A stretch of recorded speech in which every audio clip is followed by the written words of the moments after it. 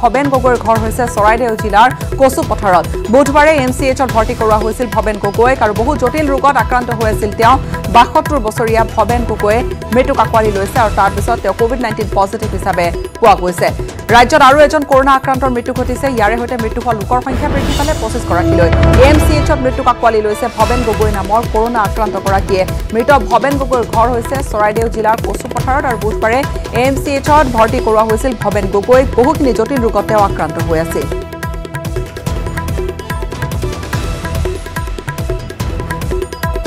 পুনৰ জনাইছো মৃত ভৱেন গগৈৰ ঘৰ চৰাইদেউৰ কচুপথাৰত বুধবাৰে তেওঁ ভৰ্তি কৰোৱা হৈছিল।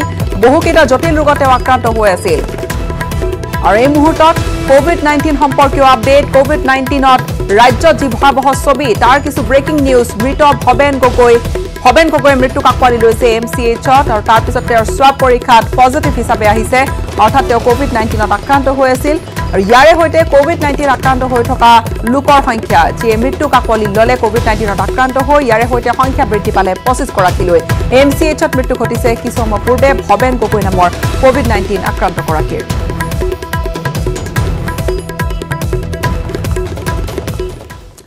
আন এক গুৰুত্বপূৰ্ণ খবৰ সংবাদ মেল পাতি চৰকাৰ আৰু মুখ্যমন্ত্ৰী